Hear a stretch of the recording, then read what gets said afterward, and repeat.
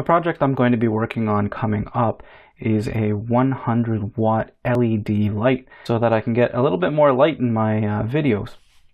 This is a kit that I bought and it comes with the LED, a heatsink, which you absolutely need. These things get hot really fast.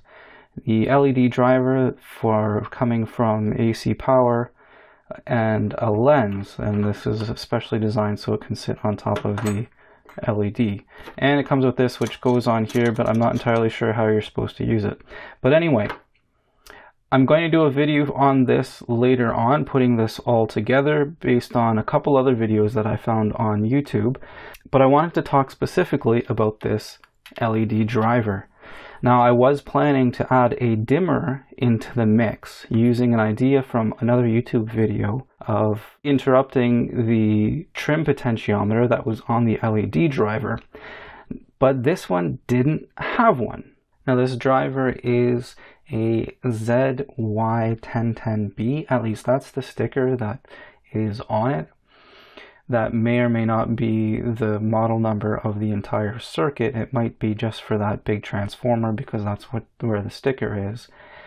But if you happen to get this same set, then this is how you can add a brightness knob to it.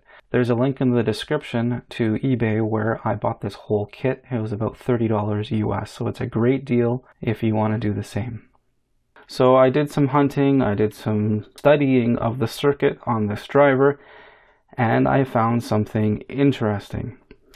Now you can see there is three pads on it that are blank with a VR1 beside it.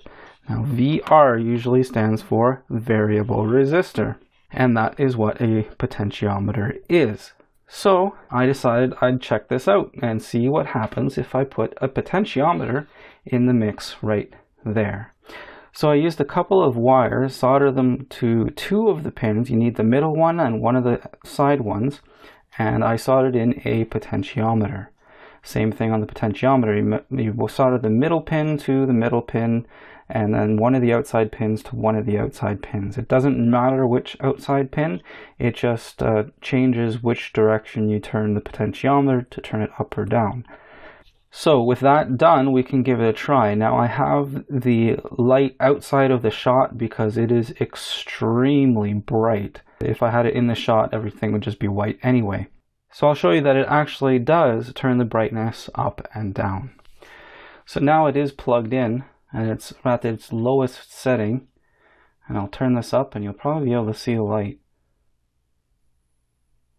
You see that? It's almost drowning out the shot and it's not even in the picture. And there you have it.